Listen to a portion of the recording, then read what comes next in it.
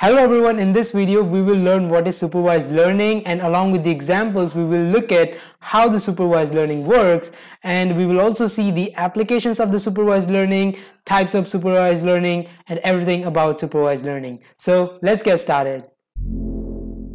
I am Jay Patel and I upload new videos on machine learning regularly so make sure to hit the red subscribe button and also hit the bell icon so that you do not miss when I upload a new video. And without further ado, let's get started.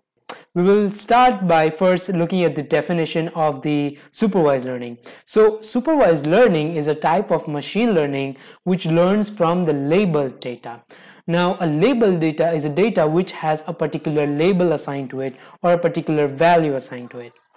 So to understand it better, let's say we want to make a model or an application where our goal is to detect whether the given image is of the apple or the orange.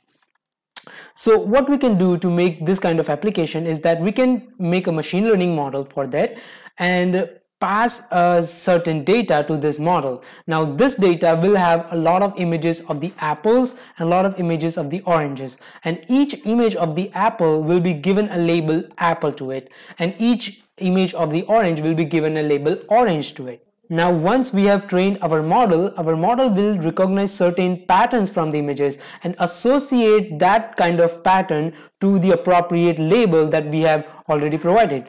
Uh, let's say for example, uh, our model recognized a red circle shaped object in an image and associate a pattern, uh, sorry, and associate the label apple to it because we have given apple label to it and let's say it recognized that an orange shaped circle in the image is an orange.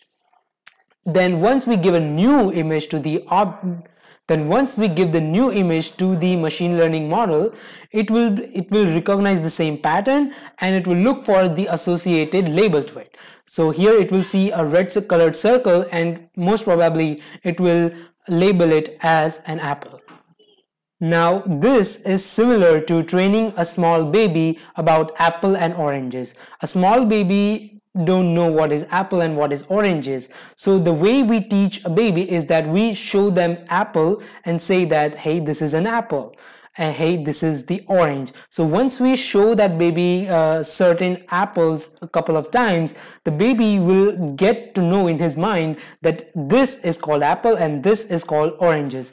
So the next time the baby goes out in the supermarket he will be able to detect that this is an apple the same way supervised learning works, uh, we pass a data along with the label to that data to a model and once the model is trained, it recognizes some patterns and associate the labels to that pattern and thus makes the new predictions.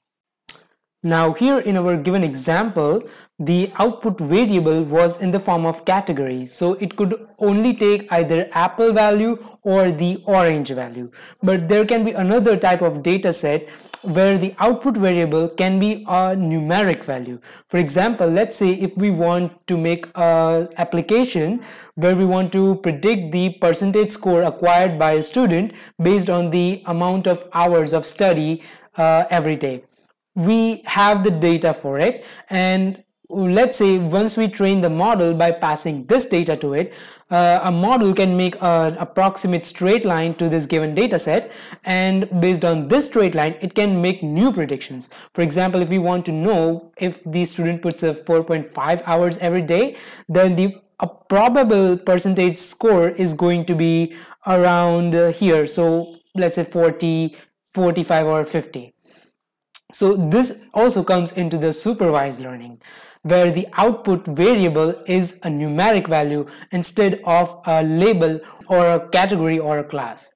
And another example can be of house price uh, prediction dataset where we have the data of the houses uh, with the square foot area with the number of bedrooms and the car size of two cars or one cars etc and we are also given the price of that particular house. So we can train a model for it and the model will recognize certain patterns from this given data set and it will try to make the accurate or the most probable prediction for the new data that it has never seen before now, as we saw, the dataset could be of two types where the labels given was of the categorical label like apple oranges or the labels given could also take a numeric value so any numeric value.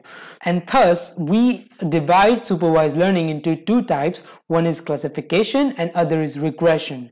So the classification is a type of supervised learning where we are training the model with a categorical labeled data set and the regression is where we train the model with the numerical labeled data set so now we have understood what is supervised learning, let us look at some of the real world applications that we can make with supervised learning. Now there can be so many different types of applications possible using supervised learning. Some of them can be to, uh, to detect the spam or the spam detection. Uh, this is the way in which we can detect if the mail is a spam or not. If the mail is a spam, it will automatically put it in the spam folder and if it is not a spam, it will put it in your inbox. Other can be object classification uh, and this can be to classify the object given in the image. For example, face recognition or handwritten digit recognition, etc. Then third can be speech recognition. It can detect uh, whether if it is your voice or someone someone else's voice and other application can be related to health where we can uh, determine if the tumor is malignant or not from the given x-ray image. So this was about supervised learning. To have a recap, supervised learning is a type of machine learning in which we learn from the labeled data where the correct answer is already given. Thus, we can say that the model is learning under our supervision. Now in the next video, we will learn about the logistic regression, which is a model that we use to make the classification predictions, for example, to predict whether the given image is an apple or an orange. So you can check out that video by clicking on the left side and I see you there.